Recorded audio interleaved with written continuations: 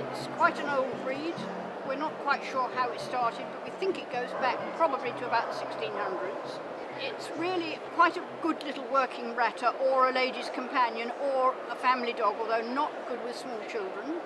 They're delightful to live with, they're loving, they're fun, uh, they're easy to look after, short coats, not a lot of maintenance. Exercise, if you've got a house and a garden, that's absolutely fine. If they have free run, brilliant. They will also take as much walking as you want to give them within reason, as long as it's not in the pouring rain and they're not bitterly cold. They're difficult to train, I find, but you always get there in the end.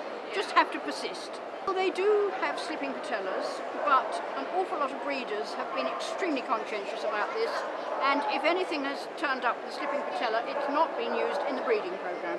I personally think because they are a true miniature and not a dwarf, I think that you actually have got a very healthy little dog here.